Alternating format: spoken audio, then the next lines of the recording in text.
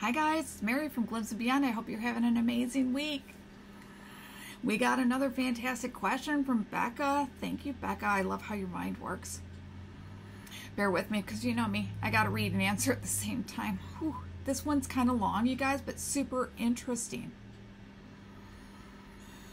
So she wants to know about are the cubes that were in like the movies Endgame and Avenger movies part of Metatron's push onto us humans. Oh, that one's so hard, Becca. All right. Just the messenger, folks. All right. Metatron is not real. Okay, I know that everyone sees all these Metatron angels and it's not, you guys. Yeah.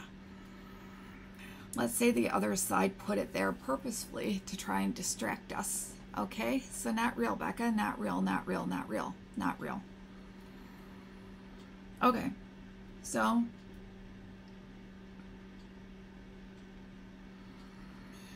she's like on on going on to another part it was a push onto humanity, but we didn't fall for it, Becca. So don't don't worry about it. I'm so sorry, you guys. I can't keep repeating things. Don't worry about it. We've already won. Okay.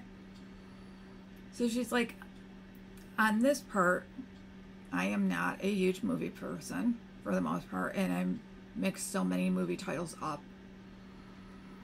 But having older kids' movies and popcorn, they all have loved for recreation. Bear with me.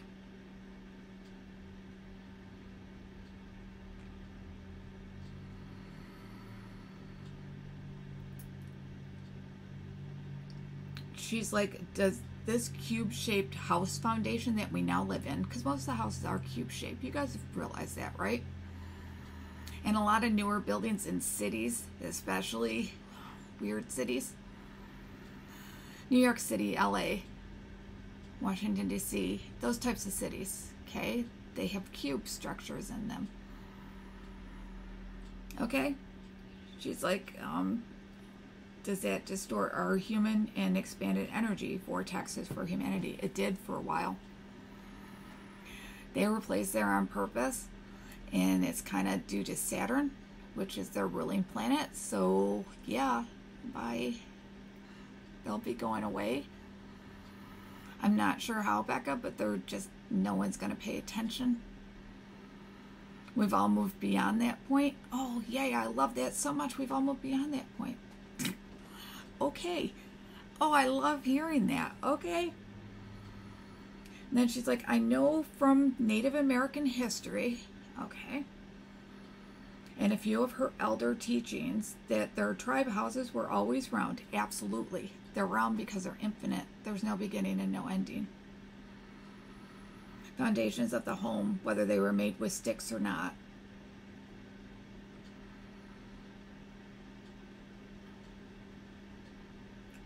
Sorry guys, trying to read off my phone. I apologize.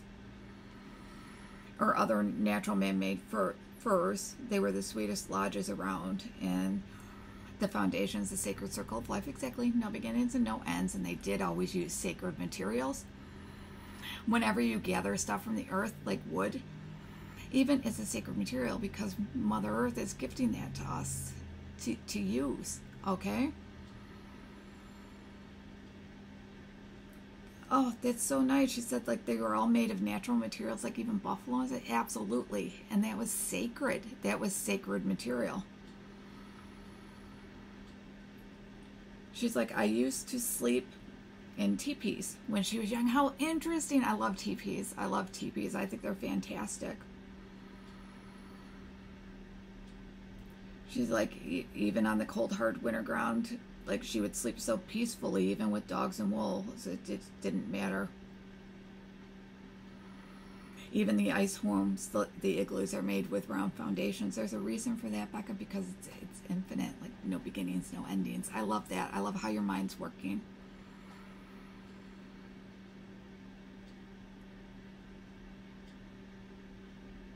She's like, this would be of importance and awesome needed information. If I have time and elaborate on these cubes, houses versus shape structure for we the modern. Truly, they do not know the ways. That's very true, Becca, but everything old is coming back again. Like we're going, I keep telling you, we're turning back. We're going back. We're going back to seeking knowledge and learning things for ourselves, so we're going to know this, all right? The square things are kind of going to go away. Not so much houses, because many people can't live in a round house just because there's so many out there, but like as we go building forward, you might see that a lot, and they're going to be more into the earth that's kind of exciting though, into the earth because your temperature would always be stable. That's so nice. Great thinking, Becca. I love it. All right, you guys, if you have any questions, drop them down below, please. Hit like, share, subscribe. All right, guys, bye.